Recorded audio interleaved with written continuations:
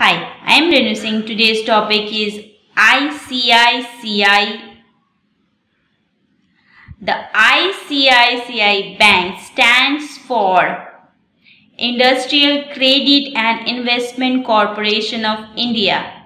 It is an Indian multinational banking and financial service provider headquartered in Mumbai, Maharashtra. ICICI Bank was originally promoted in 1994 by ICICI Limited, an Indian financial institution and was its wholly owned subsidiary.